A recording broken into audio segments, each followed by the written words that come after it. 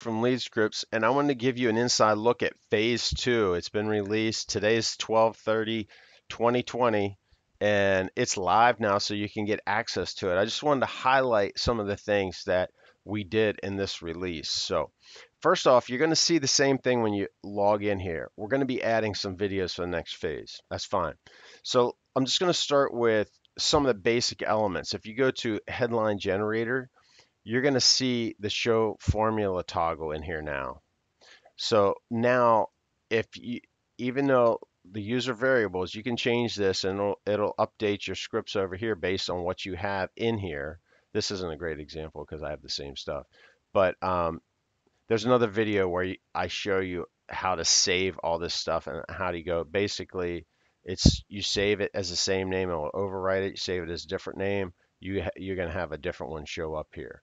Um, and you can also click this to fill the example. So I just save that for now. It saved the same stuff.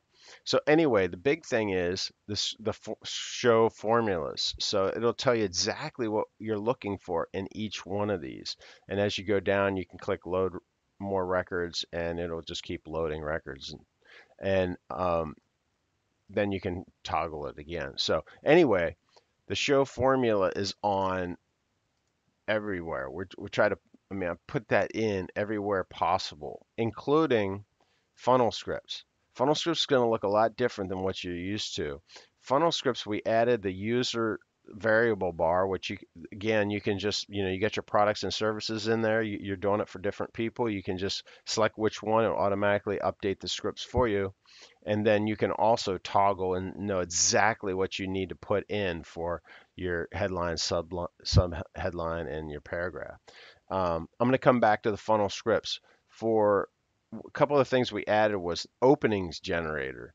This is great for whenever you're, you know, opening a letter or a sales page or something like that. It's going to talk about all the openings. So there's a ton of these in here. And again, you can see the formula, what exactly you need, you know, what you're trying to include in here. And all of these tokens are replaceable over here on the left. So we've added a ton of those. There's over 50 of those one of the things with the user sidebar, there is a different video for this, but um, you can access it here. You can update them here for each uh, each product or service you have, or you can go to my swipe file under my products and you'll be able to, you'll be able to see those and edit those just as well. So anyway, back to funnel scripts. What we did was we added these as tabs now so that it's consistent with the rest of the app. We added the user variables to the side to replace all the tokens. And we also added the show formula so you can see exactly what you need to replace or what, what token represents.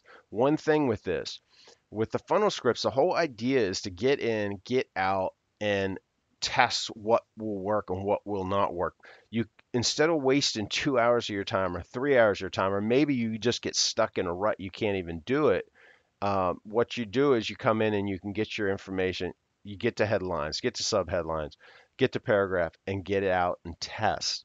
Instead of trying to come up with the perfect copy that you don't know if it's going to work or not. So we what we that's that's what we show for every page in the funnel. So you got your funnel over here, you got the pages in the funnel. And each page in the funnel might have something different on it. A lot of them share a headline, obviously, in a subheading.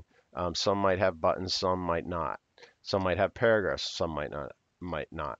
So, what's coming up right now? You can see, you can come in, you can get your text, you can copy it, you can paste it into your funnel, or you can save it, and it will get saved to your swipe file under headlines or whatever it is. Or, but what's coming up is right now, let, let me take a the squeeze page funnel, for example.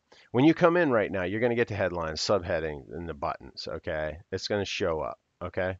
Now, you go to the thank you page and you're also going to get headlines and, and subheadings maybe not specifically geared towards a perfect thank you page so the next phase, what we're going to be doing is tagging all these so that each one of these scripts are specific, and some of them might overlap, but specific for that exact page. So when you go to a thank you page, you're going to get a bunch of thank you headlines, whatever thank you headlines, and thank you subheadings. So this is going to get even better next phase. So we're we're building upon the previous build and um, previous phase to make it the best copywriting software on the planet. That's my goal. That's what we're doing. Um, so you got to see the user sidebars everywhere now. We added subheadings. We added openings to the different generators. And for funnel scripts, we added the tabs and the sidebar. Under my account, we'd made a couple tweaks to my account, nothing big. big. Right now, you, this actually doesn't work yet. You'll need still need to contact us to add lifetime or you know to up, update your account, but that's coming very very soon. Um, and this is a lot of stuff. The show formula toggle is there. It's everywhere. The variables everywhere. So this is phase two, and it's only going to get better. So glad, thanks for watching. I'm Craig from Lead Scripts. If you have any questions, you have any suggestions, we have a roadmap. We have suggestions out there, and we're we're looking at adding languages. I, I am so excited about that. We're adding SEO metadata. I'm excited about that, um, and we're looking at a bunch of other things. So, not to get ahead of myself, this is phase two, release 12/30 2020.